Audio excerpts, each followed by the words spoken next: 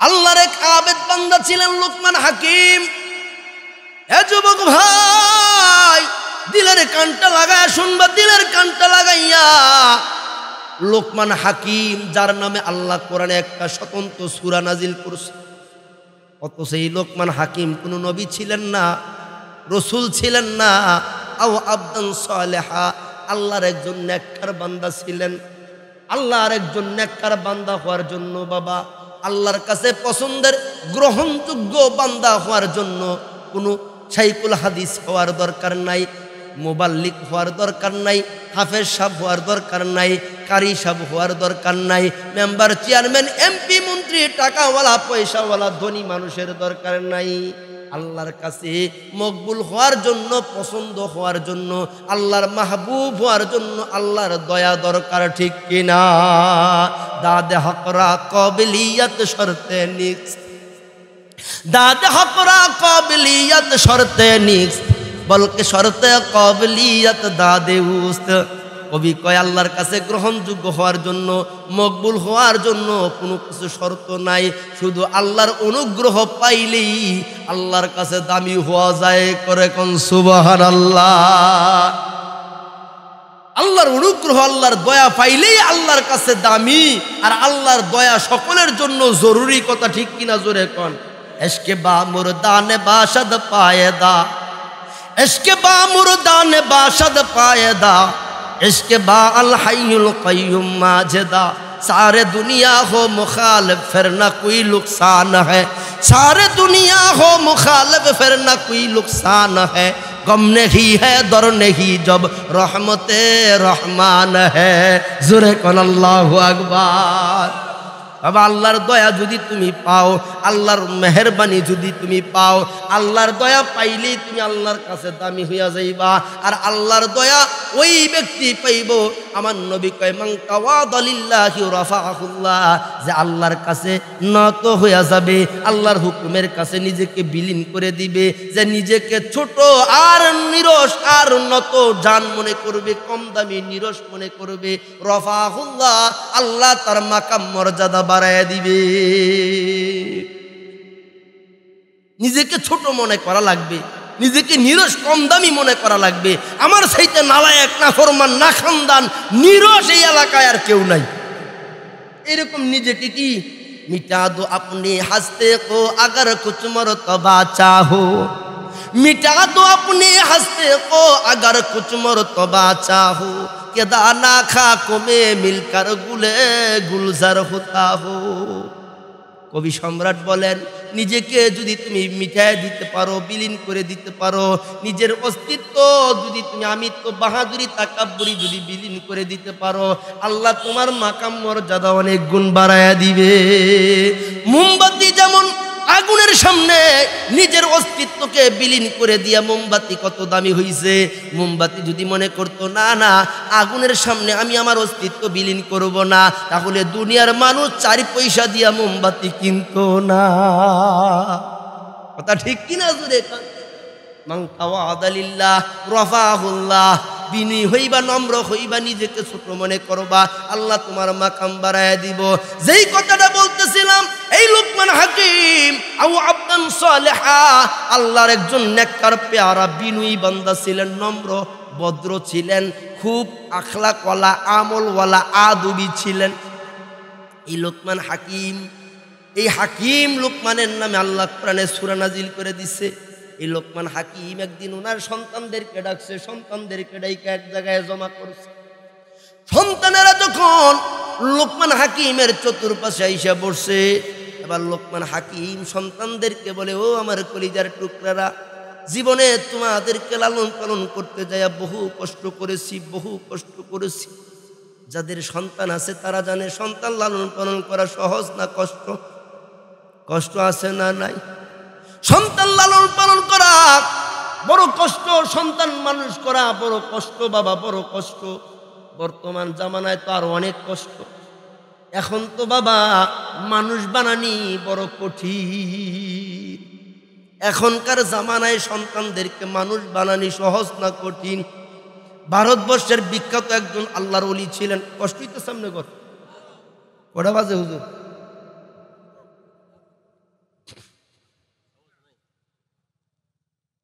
আল্লাহ এগারোটার ভিতরে শেষ হয়ে যাবে ইনশাআল্লাহ। কষ্ট হয় না তো? ভারতবর্ষের একজন বিখ্যাত আল্লাহর উলি ছিলেন আহমদ ইবনে লাহরি রহমাতুল্লাহ আল্লাহ এই আল্লাহর উলি প্রতিদিন সকালবেলা ফজরের নামাজ আদায় কইরা একটু হাঁটাহাঁটি করতেন। ফজরের নামাজের পরে একটু হাঁটা, এটা শরীরের জন্য বড় উপকারী। কি? উপকারী? আর যেই সমস্ত কপাল ফোরারা বদনসিবওয়ালারা আটটা, নয়টা পর্যন্ত সকালবেলা ঘুমায় থাকে। আমার নবী কয় আসুব হাতুত কামনা উরিজ তাদের জন্য রিজিকের বরকতের দরজা বন্ধ হইয়া যায়। কুকুরের খাবারে যেমন বরকত নাই হিংস হাইন জানোয়ারের খাবারে যেমন বরকত নাই, বেনামাজির খাবারের ভিতরে বরকত থাকে না। কি থাকে না? বরকত থাকে না। আল্লাহ আকবর আহমদ ইবনুল্লাহ হরি রহমাতুল্লাহ আলাই হজরের নামাজটা পইরা, আস্তে আস্তে কইরা একটু হাইটা হাঁটার জন্য, হাইটা হাইটা আস্তে আস্তে একটু বাজারে যাইতেন। ওই বাজারে একজন নামাজি ব্যক্তির, আল্লাহওয়ালা নামাজি ব্যক্তির খাবারের হোটেল ছিল। প্রতিদিন আল্লাহর বান্দা এই আহমদ ইবনুল্লাহ হরি রহমাতুল্লাহ আলাই ওই হোটেলে গিয়ে অল্প নাস্তা করতেন। নাস্তা খাওয়ানোর পরে হুজুর যখন হোটেল থেকে বিদায় হয়ে আসবে, এমন সময় হোটেলের মালিক প্রতিদিন হুজুরের কাছে একটা জিনিস আবদার করতেন। হুজুরের সামনে দাঁড়ায় বলতেন, হুজুর, আমার জন্য আপনি একটু দোয়া করেন। আল্লাহর অলি হুজুর, আল্লাহর বান্দা, আল্লাহর অলি ওই হোটেলের মালিকের চেহারার দিকে তাকায়া প্রতিদিন দোয়া করতেন, আল্লাহ, তুমি, আল্লাহ তোমার মানুষ বানায় দেখ। কি দোয়া করতেন? প্রতিদিন হোটেলের মালিক দোয়া চাইতো আর আল্লাহর উলি প্রতিদিনই দোয়া করতো, বাবা, আল্লাহ তোমারে মানুষ বানায় দেখ, আল্লাহ তোমারে মানুষ বানায় দেখ, আল্লাহ তোমারে মানুষ বানায় দেখ। হোটেলের মালিক মনে মনে চিন্তা করে, যুগশ্রেষ্ঠ আলেম বড় মোবাল্লিক শাইকুল হাদিস, কত দোয়া হইতো আছে, সব দোয়া বাদ দা খালি, আমি তো মানুষ হই, এরপরে আমার জন্য খালি মানুষও আর দোয়া করে, হুজুরে কি আর কোনো দোয়া পারে না? মনে মনে চিন্তা করে মনের ভিতরে চিন্তা হুজুরে আর কোনো দোয়া পারে না। হুজুর তো দোয়া করতে পারে আল্লাহ, এই তোমার ব্যবসার ভিতরে বরকত বাড়ায় দেখ। তোমার হায়াতের ভিতরে বরকত বাড়ায় দেখ। তোমার গুণাগুলি আল্লাহ মাফ করে দেখ। তোমার মাপ্পার বাপমার গুণা আল্লাহ মাফ করে দেখ। তোমার বংশের মুরব্বীদের কবর আজা আল্লাহ মাফ করে দেখ। কত দোয়াই তো আছে। কোনো দোয়া না কইরা হুজুরে খালি কয়, আল্লাহ, এই তোমারে আল্লাহ মানুষ বানায় দেখ। এখন এই মনের ভিতরে যে আশা, মনের ভিতরে যে খটকা, এটা আল্লাহর অলি আল্লাহ তালা এলহামের মাধ্যমে জানাই দিছে এই বান্দার জন্য তুমি প্রতিদিন যেই দোয়া করো, দোয়া তো তার পছন্দ হয় না। দোয়া কি হয় না? পছন্দ হয়। কিছু মানুষ আছে না হুজুরের খালি শিয়াইতো চায়। কিছু বাটপার প্রবৃত্তির মানুষ আছে। হুজুরগর পিছনে লাগাতা হ্যাঁ সমাজও নাই নাই নাই। হ্যাঁ? একবার ফোলা বেলা তিনবার মেট্রিক ফেল তিন, তিনবার পরীক্ষা দিয়ে মেট্রিক ফেল করছে। এখন বুঝেন ফর্ম ফিল আপ এরপরে প্রাইভেট টাইভেট পড়ায় কত টাকা খরচ করে, এরপরে পরীক্ষার রেজাল্ট কি?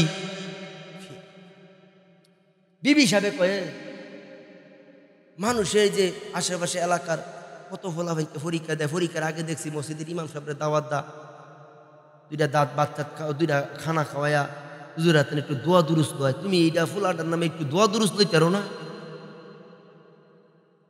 এক তো ভালোই কথা কইছো, তিন তিনবার মেট্রিক ফেল করছে। আচ্ছা দেখি ইমাম সাহেবের একটু দোয়া লই এইবার নি কোনো মতে উঠতে আরে। এখন ইমাম সাহেবের কাছে গেছে, ইমাম সাহেব, হুজুর দুপুরবেলা আমরার বাড়িতে আপনার দাওয়াত। আমার ছেলেটা তিন তিনবার মেট্রিক ফেল মানে এইবার আবার পরীক্ষা ইয়ে পড়ছে আগামীকাল পরীক্ষা। আপনি একটু দোয়া করবেন, আমার ফোলাডাইন একটু ফাঁস করতে পারি। হুজুরে কয়েক কয়, ঠিক আছে। এখন হুজুরে আইসে, জোহরের নামাজ পড়ে আইসে, এই দিক দিয়ে এই লোকটায় মাসকলার ডাল, বোয়াল, মাছ, মোটামুটি যা কিছু, ভালো আইটেম করছে, ভালো আয়োজন করছে। হুজুরে খাওয়াইবো, জীবনে খাওয়াইছে না যে হইলা খাওয়াইবো। মোটামুটি ভালো আয়োজন করছে। তো ঠিকঠাক মতো মাসকলার ডাল দেওয়া বোয়াল, মাছ দিয়া খুব ভালো খানা খাওয়াইছে। খানা খাইয়ে বেটা সিধা উইতেছে না। হুজুর, দোয়া করেন। হুজুর কই মিয়া, খানা খাওয়াইছেন, দোয়া তো করব আইসি যখন, দোয়া করব কত আমনের বাপ আসেনি কয়, না। মা আসেনি কয়, না। দাদা দাদি আসেনি না মারা গেছে? কয়, না, দাদা দাদিও নেই। তো বংশের অনেক মুরব্বীর ওই তুই কবরে চলে গেছে, কহ। সকল তার লাগে মিলাইয়া সুন্দর করে একটা দোয়া করে দিব দুরু শরীফ পড়েন। এবারে খারিয়ে উঠছে। যদি এত মনের লেগে দোয়া বন্ধ করার লেগে তো আপনি বোয়াল মাছ দেখা পাইছে। অত মানুষের লেগে আপনি দোয়া বন্ধ করতেন। তাহলে তো আমার হুতে তিনবার তো ফেল করছে, এবার চারবার হইব। এক আলি মিলবো। দোয়া এত ফেল দেওয়া দরকার নাই। পুরাটা দোয়া খালি ঘুরে আমার হুতে রে দিন। অনি হয় কোনো মতে হেসুরটা উঠতে পারে। ইমাম সাহেব কয় রে, আমার নবী কইছে, দোয়া যত লম্বা হয়, আল্লাহর কাছে তত কবুল হয়। রব্বানা জলাম না, এতটুকু কইলে কারুক সোয়ে ফানি আইয়া যেমন তো দেখছেন। কিন্তু লম্বা দোয়া কইলে দোয়ার ভিতরে মায়ার শব্দগুলো আসে, আল্লাহর তরফ থেকে আসে। তখন দেখা যায় আস্তে আস্তে কঠিন হৃদয় গলে, কঠিন হৃদয় নরম হয়, চোখ বেয়ে বেয়ে পানি ঝরে আসে না নাই? আমার নবী কইছে, দোয়া যত লম্বা হয়, আল্লাহর দরবারে তত কবুল হয়। আর আমনি বাপ নাই, মা নাই, দাদা দাদি সব কবরে চলে গেছে। কেউ লেগে দোয়া দরকার নাই? সব দোয়া খালি হুতের লেগে দরকার। হ সব খালি ঘুরে, খালি হেরে দেন, খালি হেরে দেন হেরে দেন। এখন ইমাম সাহেব পুজোরে কদ্দুর জুইতের মধ্যে পড়ছে। না বেজুইত জুইত না বেজুইত? মেলা বেজুইত ফুরিয়া গেছে। মানে ইমাম সাহেব আমনে যে বেজুইতটা ও আপনার ফুতের নামটা লইয়া না সারা দোয়া করলে আপনার মনটা ভরতো না বুঝ জ্বালাইছি নাম লইয়া দোয়া করতে হইব, কারণ আপনি তো বুঝ জ্বালাইছি আপনি যে কদ্দুর বেজুই কিরে, বাপের লেগে দোয়া দরকার নাই মাল লেগে দোয়া, কেউ লেগে দোয়া দরকার নাই, দোয়া কি? আল্লাহর কাছে কোনো টান আছে? আল্লাহ দিলে কোনো টান পড়ব? মানে কেউর দরকার নাই, কোনো দোয়া বন্ডক চলতো না, সব খালি তারে দিবে। ঠিক আছে, তো আপনার ভূতের নাম কি? সাগর। ইমাম সাহেব খারি হয়েছে বাবা, মাফ চাই। এই সাগরে তিন, তিনবার আমার বাড়িঘর ভাঙছে এইটার নাম হলে আমার কোলদের দিতে পানি খায় না।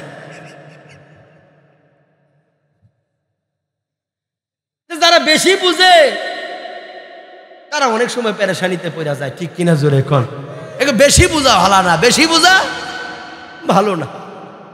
যাই হোক, যেই কথাটা বলতেছিলাম, কথা খেয়াল আসেনি আপনাদের? লোকমান হাকিম ছেলেদেরকে ডাকছে। দাইকা কাছে আনছে, আইনা কা বাবারা, তোমরা বড় আগুস কইরা, বড় আদর কইরা, বড় মোহাব্বত কইরা, মাথার গাম পায়ে ফেলাইয়া, মেহনত কইরা, কামাই কইরা খাওয়াইয়া তোমরা বড় করছি। মানে তোমাদেরকে আমি চারটা বিষয়ে নসিহত করব। যেই নসিহতগুলা মানলে দুনিয়া কামিয়াবি, আখেরাতেও কামিয়াবি। দুনিয়ায় সফলতা, আখেরাতেও সফলতা। মানে আমরা এখানে যারা আইছি, দুনিয়া, আখেরাত উভয় জগতে সফলতা চাই কি চাই না? আল্লাহ আকবার, লোকমান হাকিম কয়, ও আমার সন্তানেরা, কারা কারা দুনিয়ায় আখেরাতে সফলতা চাও? সকল সন্তানেরা হাত উঠে দেখাইছে, বাবা গো, আমরা সবাই দুনিয়াতেও সফলতা চাই, আখেরাতেও সফলতা চাই। হাকিম লোকমান তখন সন্তানদেরকে ডেকে বলে, ও আমার কলিজার সন্তানেরা, কলিজার টুকরারা, দুনিয়া আখেরাতে যদি সফলতা পেতে চাও তো চারটা জায়গায় চারটা জিনিসের হেফাজত করবা ইখফাস আরবা আনফি আরবাইন।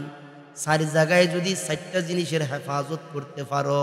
আসমানের মালিক আল্লাহ আমাদের দুনিয়া আখেরাতে সফলতা কামিয়াবি দান করে দিব। এক নম্বর ইখফাস আইনা কাফি বুয়ুতিন নাস। তোমরা যখন মানুষের ঘরে যাইবা, তো ঘরগুলার ভিতরে নজরের হেফাজত করবা। কারণ লোকমান হাকিম যখন সন্তানদেরকে নসিহত করতেছিলেন, ওই সময় ঘর ছাড়া অন্য কোনো জায়গায় কোনো মহিলার অস্তিত্ব কল্পনা করা যেত। লোকমান হাকিমের জামানায় ঘর ছাড়া অন্য কোনো জায়গায় কোনো মহিলার অস্তিত্ব কল্পনাও করা যেত না।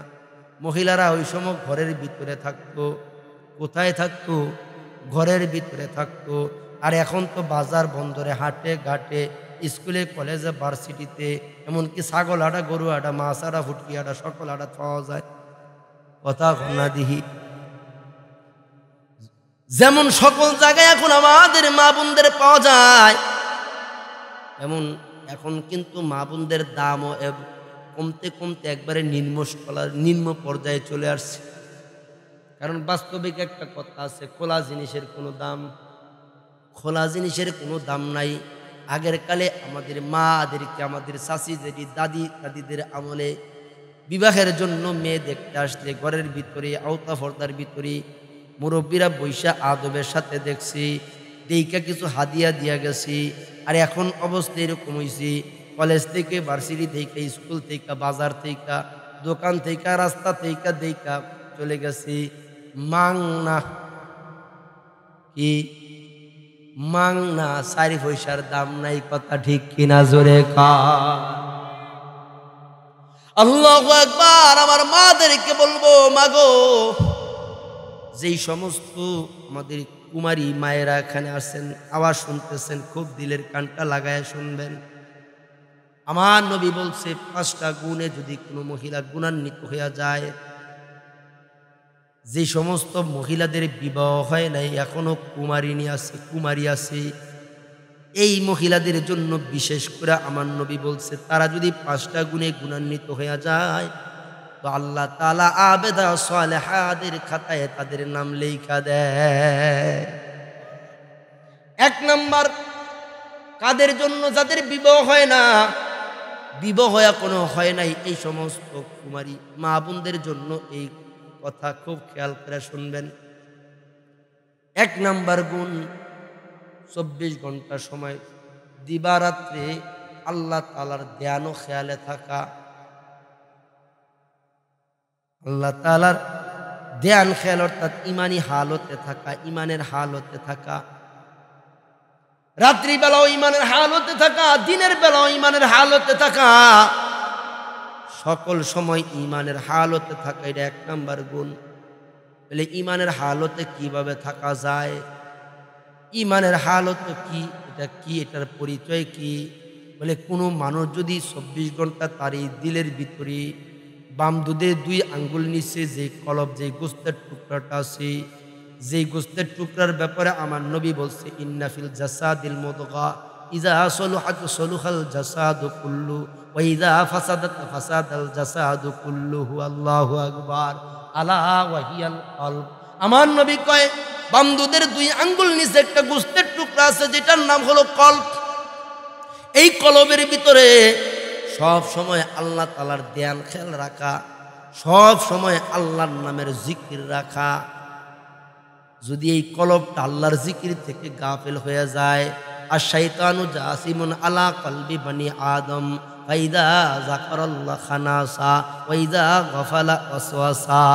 আমার নবী কয়, এই কলবের ভিতরে যতক্ষণ বান্দা আল্লাহর জিকির রাখে, ততক্ষণ কলব আল্লাহ শয়তানের কুমন্ত্রণা থেকে হেফাজতে রাখে।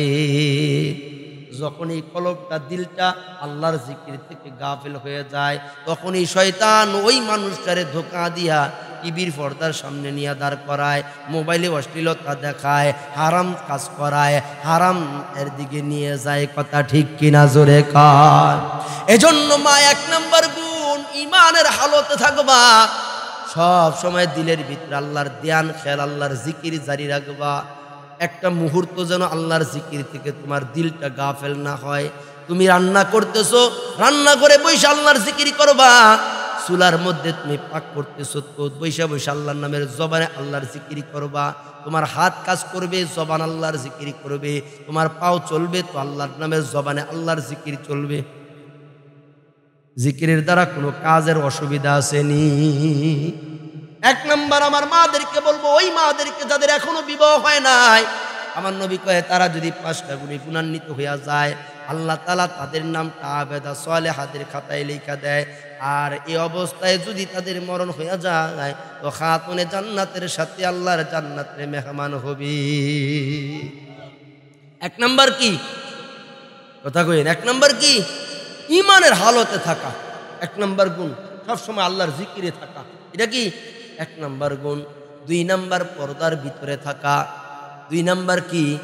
পর্দার ভিতরে থাকা। ব্যাখ্যা করলে সারা রাত্র শেষ হবে না বাবা। ব্যাখ্যা করার দরকার নাই। বুদ্ধিমানে বুঝে শুধুমাত্র ইশারায়। নাদানেরে বুঝাইতে পারে কে আছে কোথায়। ভালো তরকারি হলে যেমন অল্প জালে হিজি, জ্ঞানী লোকেরা অল্প কথাই বুঝি। ওরে জ্ঞানী যারা বুঝে তারা কেবলমাত্র ইশারায় নাদানেরে বুঝাইতে পারে কে আছে কোথায়। আমি তো আশা করি, আমি মনে করি এই সফুরিয়া এলাকা, না বাগাবর? হ্যাঁ? ও, বাহের দিয়া এই এলাকার প্রত্যেকটা মা বোন সচেতন, শিক্ষিত, বুদ্ধিমান, বুদ্ধিমতী। তাদেরকে ইশারায় বললেই তারা বোঝা যাইব। এজন্য ব্যাখ্যা করার প্রয়োজন মনে করি না। দুই নাম্বার কি? পর্দার ভিতরে থাকা। দুই নাম্বার গুণটা কি? পর্দার ভিতরে থাকা। তিন নাম্বার, পর্দার ভিতরেও শরীরটা ঢাইকা রাখা। ঘরের ভিতরে আসো, পর্দার ভিতরে আসো, তারপরেও যতটুকু সতর ঢাকা আল্লাহ ফরজ করছে, এতটুকু সতর ঢাইকা রাখতে হবে। আমার অনেক মায়ের আমার মক্তবের ছোটো ছোটো ফোলা হইতে আমার কাছে বিচার দেয়, হুজুর। আমরার মায় বাড়ির উলনা চলে না। সুডু ফোলা পাঁচ ছয় বছরের ফোলা। এরা আমার এক পায় আর মায় বেলে বাড়ির পূর্ণা ব্যবহার করে না। তো মসজিদে জুমার দিনে ঠাসা বয়ান দিয়ে দিছি। বাড়িতে ঘরের ভিতরেও যদি মাথায় কাপড় না দেয় পূর্ণ ব্যবহার না করে তাহলে এর সেইতে নিলজ্জ, বেসরম, বেহায়া এই আসমানের নিচে জমিনের উপরে কেউ হতে পারে না। কথা না দিহি। মা, তুমি উড়না ব্যবহার করো না। তোমার উপযুক্ত মেয়ে আছে, তোমার উপযুক্ত ছেলে আছে ঘরে। তারা তোমার চেহারার দিকে তাকায় আর চেহারার ভিতরে, চেহারার দিকে তাকায়া তাদের লজ্জা দূর হয়ে যায়, তারা নিলজ্জ হয়ে যায়, বেসরম হয়ে যায়, বেলাজা হয়ে যায়।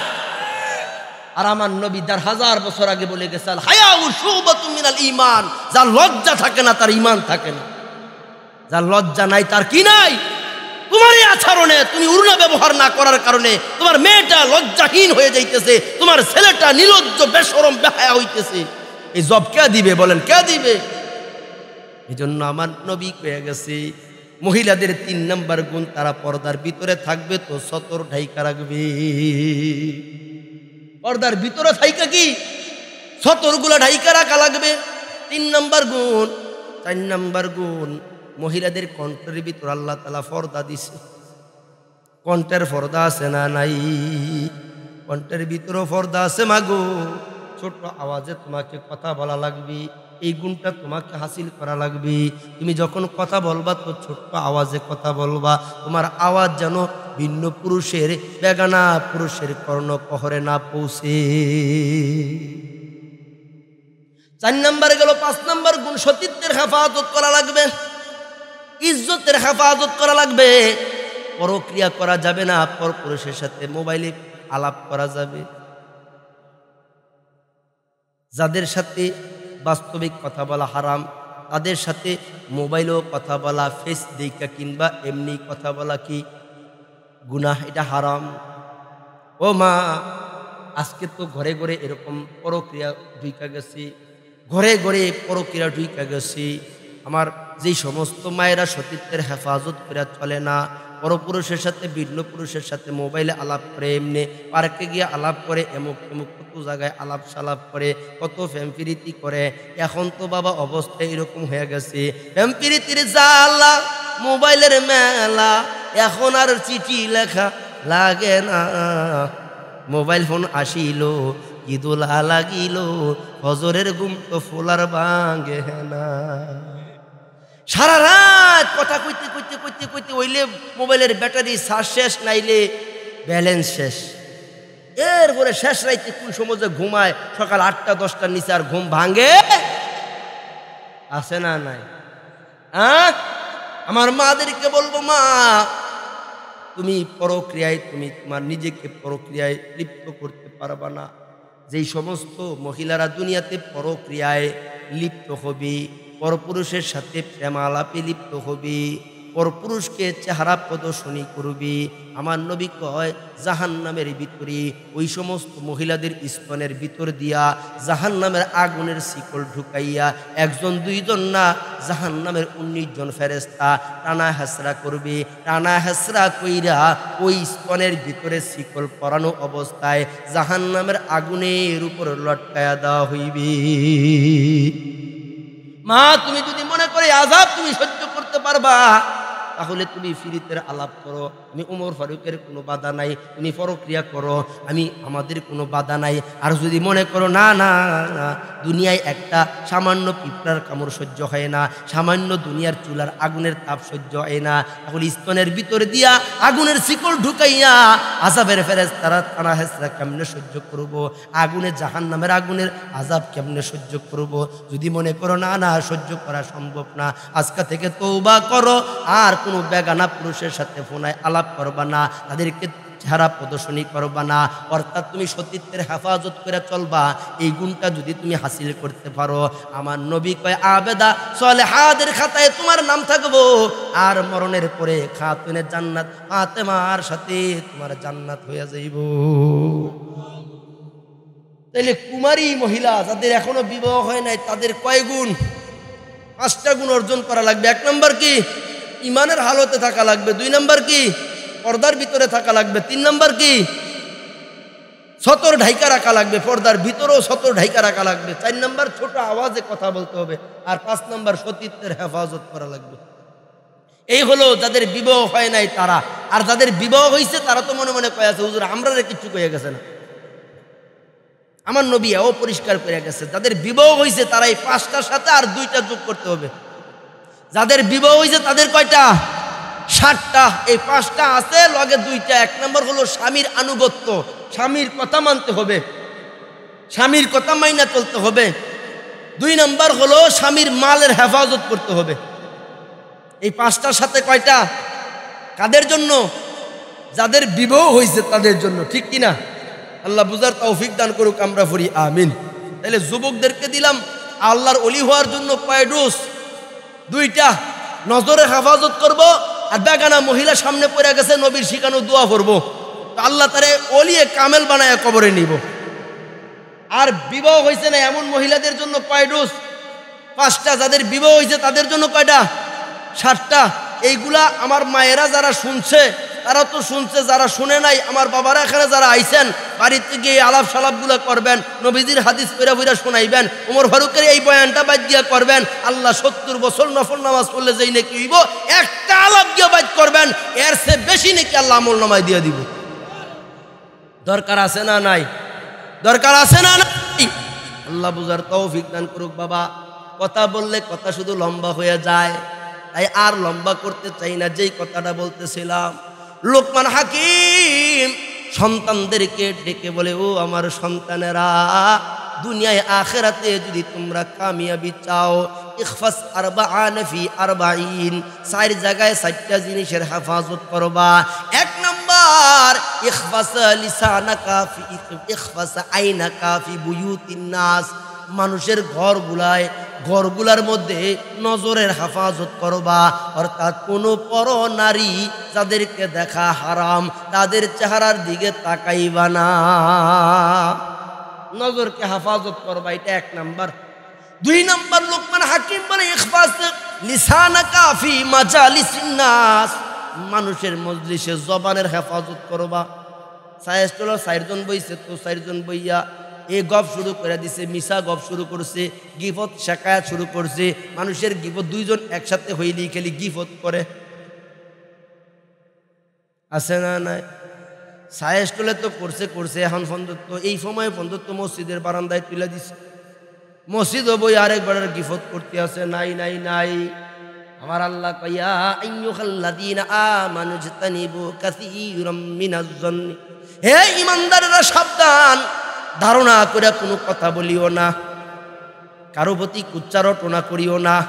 কারও গিপত শেখায়াত করিও না।